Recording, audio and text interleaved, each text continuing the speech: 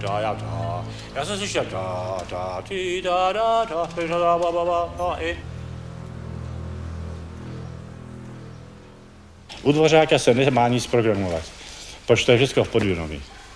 To je tak jiná personální situace. To není žádný malování, ale ani žádný programování, to je podvědomý duch, který to řídí. A ani o tom nevěděl kolikrát, jak to píše, co píše. Víš, to je, to je úžasná, to je mysteriózní někdy, že? Jak to vůbec mohl vycítit všechno, aniž by to vlastně moc věděl, on to nechtěl, on to měl, on to dával.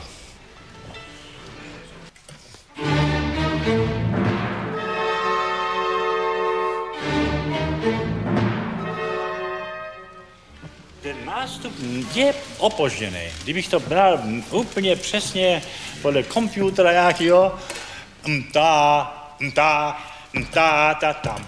To tempo. 7, 4, 2, 3, 30, nebo 4, 4, raz, dva, tři, ta, ta, tam. Tada. Ta, ta, tam. Tada. Výborný. Rozlišuj lepší, prosím, tadam a tadadam. Třeba popojedete crescendo, tak ne tak silně začít. Ale ty tři noty musí být tadadam, jako výhruška. A po třetí dvakrát tadadam, tadadam. To není ono. Znáš nějaký, nějaký hadr na to, nebo co? Bez hadru. No. No to už je lepší, vidíš, to už je lepší. Žádný, žádný dusítka, s dusítkama to. Tak jdeme ještě jednou, jo? Má dusítka. Jedna, dvě, tři.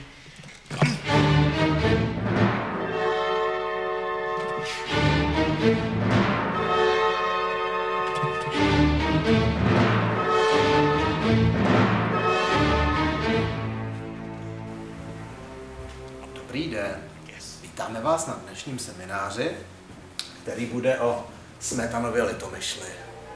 Inženýrka Trepková si připravila seminář na téma, co se ve Smetanově litomyšli dělá na festivalu, o těch jednotlivých hudebnících a aby jsme na to navázali, tak v příštím díle budu já povídat o tom, jakým fun- způsobem funguje zvuk, jak fungují některé hudební nástroje a připravím si pro vás krásné ukázky.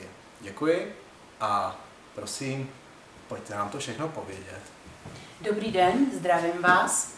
Eh, tak Smetanova Litomyšl, jistě jste o něm, eh, o tomto výjimečném festivalu několikrát slyšeli. Eh, Smetanova Litomyšl je festival, který se koná pravidelně od roku 1946, respektive od roku 1949, protože v roce 1947 se festival nekonal. Eh, je to vlastně snaha eh, připomenout velké dílo eh, Bedřicha Smetany.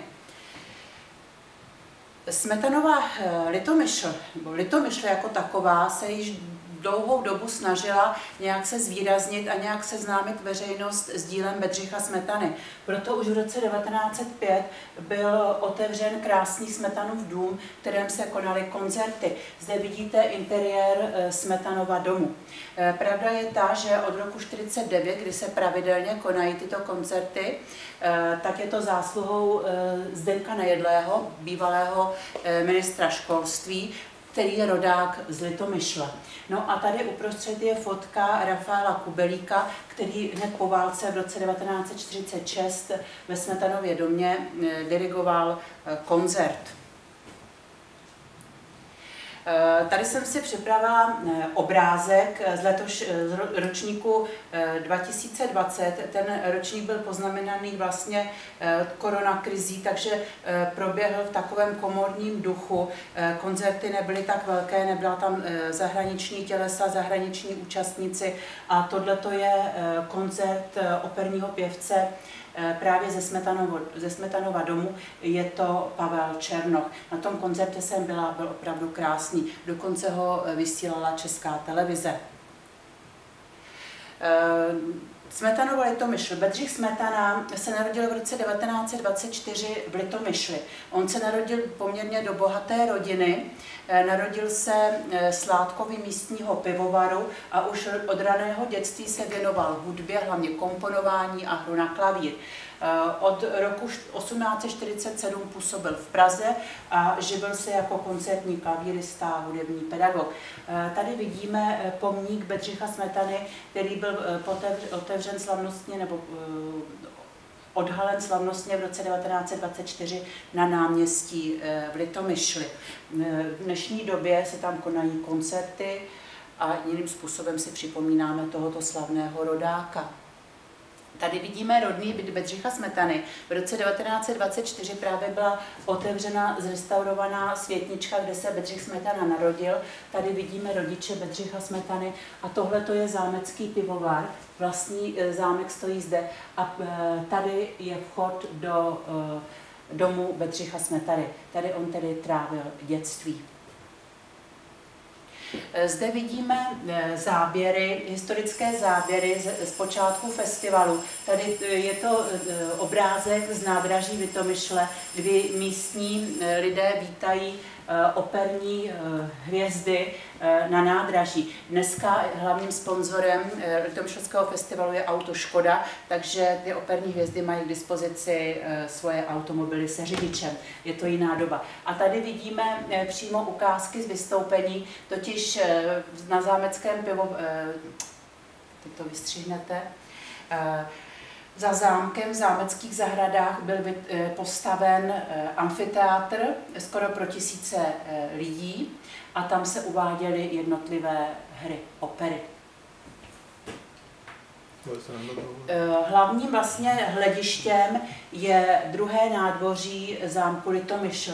Eh, renesanční zámek eh, v Litomyšli je krásná stavba, která je od roku 1999 v seznamu UNESCO. Ten zámek postavili italští stavitelé a je eh, na něm zajímavé to, že na zdech jsou z grafity a každé z grafito má jiný námět. Jinak v roce 1970-80 eh, probíhala rekonstrukce těch grafit a na, na těch grafitech pracoval Olbram Zoubek. Eh, on tam má eh, svoji výstavní síň a druhá manželka sochaře Olbrama Zoubka Eva Kmentová pochází z Litomyšle. Eh, další koncerty eh, probíhají v tomto krásném chrámu. Eh, jsou to varhaní koncerty. Tady zase vidíme záběr z toho interiéru. Na tom koncertě jsem také byla, byla to tokáta Bachova varhaní hudba. Krásná akustika a zde vidíte nádherně opravený chrám, včetně zahrad. Další eh, významnou budovou je piaristický chrám. Je to tento nádherný chrám, který stojí na zámeckém návrší. V tomto chrámu pravidelně celebruje eh, pan Halík mši eh, na počest Litomyšlskému festivalu. A jenom, jenom pro zajímavost, tato budova je to budova bývalého gymnázia, kde učil Alois Jirásek. Eh, další zajímavostí, a zase se musím pochlubit, to tady jsem já, jsem na koncertě eh, barokní hudby v Zámeckém divadélku. Eh, Zámecké divadelko je staré přibližně 200 let a myslím, že kromě tohoto barokního divadelka je ještě v Českém Krumlově. Jinak v republice není, možná, že to je i evropská záležitost. A to divadelko má ještě dokonce i původní kulisy. Tady vidíte jednotlivá lože a tu atmosféru bylo to prostě nádherné, krásná akustika a byl to obrovský zážitek. Další koncerty probíhají eh, v plenéru venku. Tady zase na Záveckém návrší je eh, koncert eh, žestů České filharmonie a zde tento pán, to je pan Stříteský, to je umělecký ředitel festivalu Eh, festivalu Smetanova Litomyšl. Jinak eh, již teď eh, je znám program Smetanova Litomyšle na rok 2021 a ten program bude uveden v Rudolfínu, zpravidla to bývá v lednu toho roku. A právě pan Stříteský tam vlastně prezentuje ten program nový. Nedílnou součástí festivalu jsou festivalové zahrady.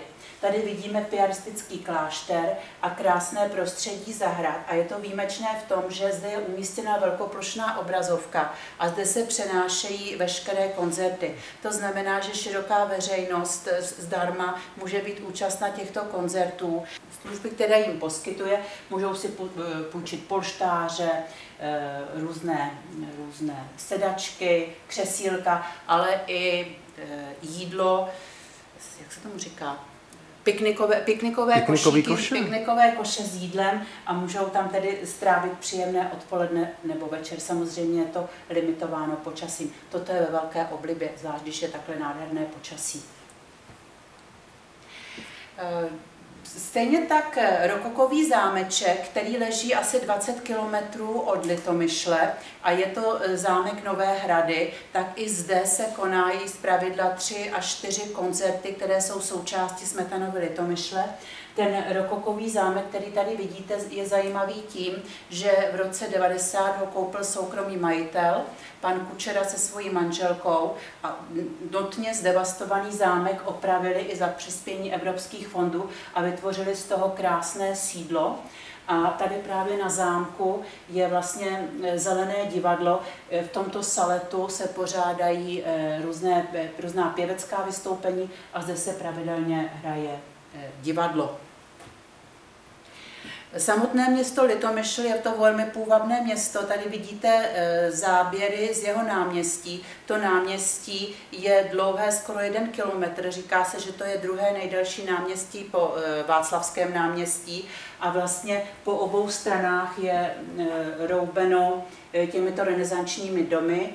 Nejstarší dům je dům u rytíře. Tady vidíme věž a na té věži dole je originál lokte, tedy měřidlo, které se používalo při e, trzích pro měření délky. No a na e, dolním konci toho náměstí je už zmiňovaná socha Bedřicha Smetany. Tak, to je všechno a těším se s váma zase příště. Nashledanou.